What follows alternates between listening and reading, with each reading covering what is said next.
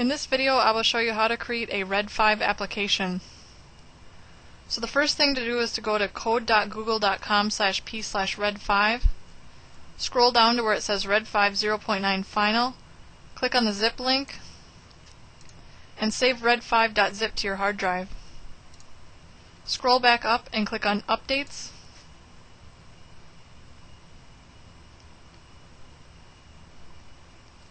then click on R4037, then click on project.zip, right click on view raw file, save target as, and save project.zip to the same place where you've saved red5.zip.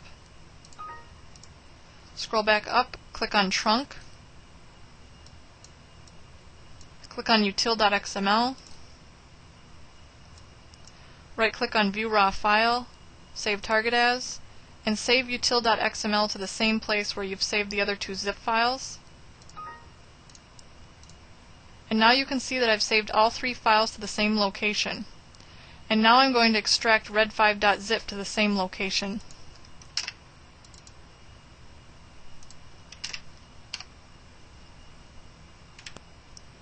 And now that I have extracted red5.zip, you can see that it has put this lib folder here and I will save something there in a minute.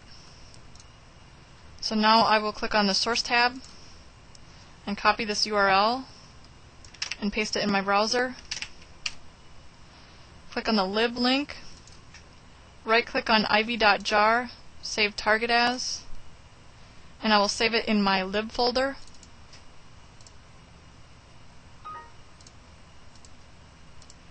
And now if I go into my lib folder, I can see the ivy.jar is there. And now open your build.properties file, right click, open with WordPad, find the ivy.version and verify that the version is the same one that we downloaded. So this one is 2.1.0 and the version we downloaded is 2.1.0. So that is correct. And now open a command prompt And now we need to go to the same directory where we extracted red5zip and where we downloaded the files. Mine is on my D drive, so I will type in D colon.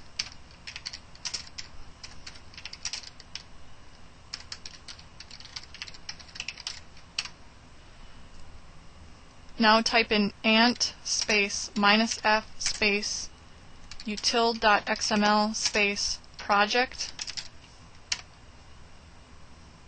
And now it will ask me three questions about my project.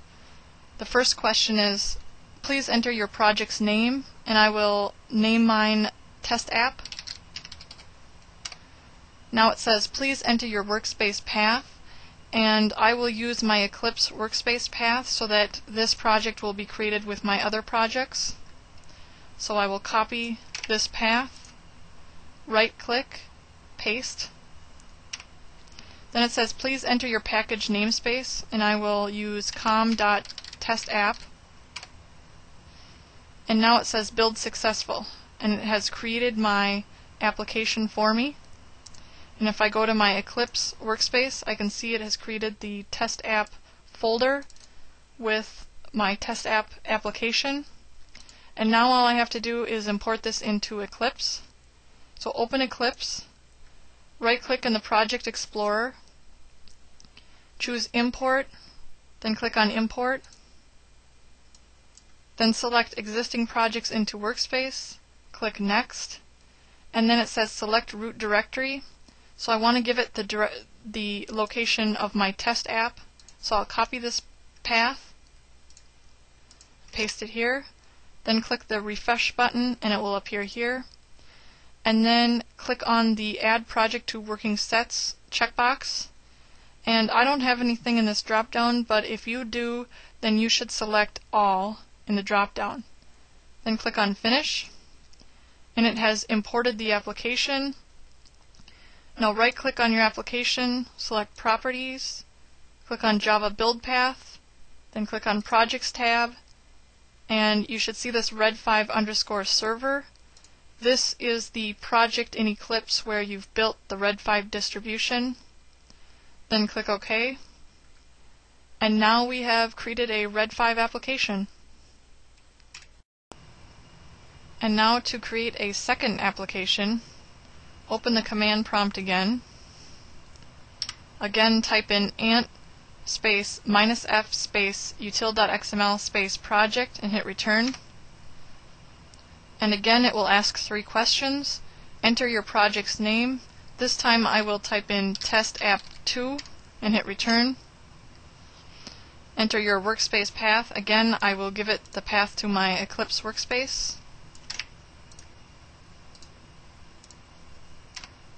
Enter your package namespace. I'll type in com.testapp2. Build successful. And now if I go into my Eclipse workspace, I can see it has created test app 2 folder with an application. So now all I have to do is import this into Eclipse. So right click on Project Explorer, Import, Import, Existing Projects into Workspace, Next, and now I'll give it the path to Test App 2.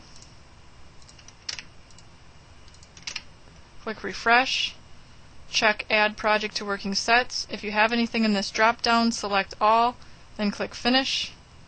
Then right click on Test App 2, Properties, Java Build Path, Projects, Red 5 Server, and again, this is the project where I've built my Red 5 distribution.